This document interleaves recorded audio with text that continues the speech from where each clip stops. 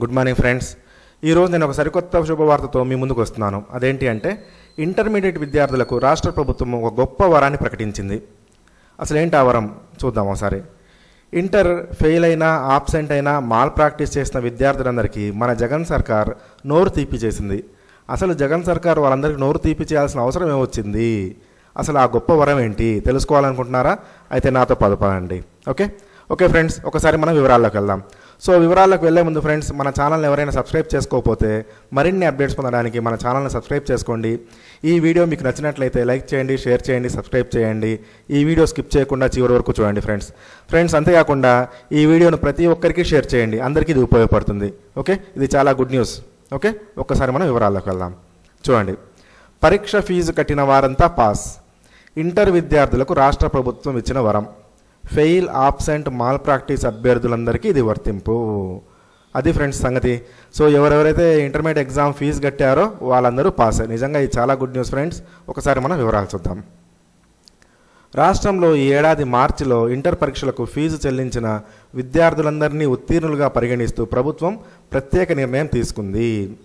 రెండు వేల ఇరవై మార్చి పరీక్షలకు ఫీజు కట్టిన అభ్యర్థుల్లో పరీక్ష రాసి ఫెయిల్ అయిన వారు మాల్ ప్రాక్టీస్కు పాల్పడిన వారు పరీక్షలకు హాజరు కాలేకపోయిన వారందరినీ ఉత్తీర్ణులుగా పరిగణిస్తూ బోర్డు మంగళవారం ప్రకటించింది. Okay?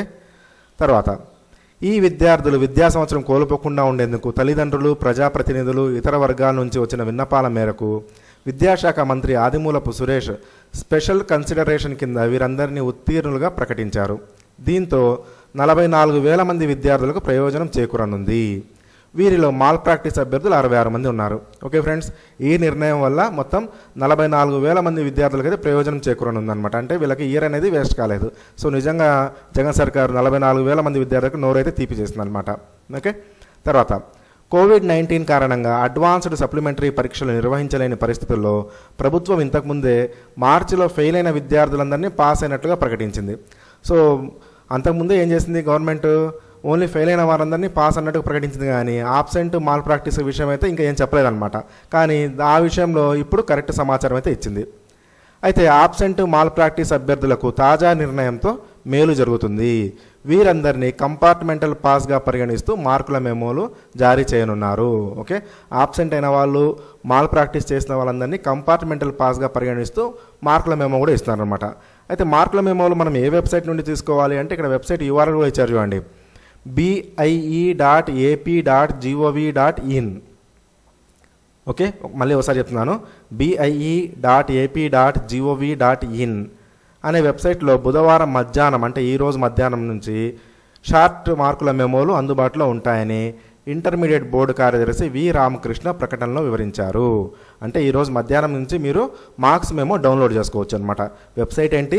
BIE dot AP dot GOV dot in okay? ఈ వెబ్సైట్లో మీరు డౌన్లోడ్ చేసుకోండి. Okay friends? నిజంగా ఇది చాలా గుడ్ న్యూస్. సో మీ అందరికీ ఇయర్ వేస్ట్ కాకుండా జగన్ సర్కార్ అయితే చాలా మంచి పని చేసింది. Okay? Okay friends? All the best. Thanks for watching. Thank you.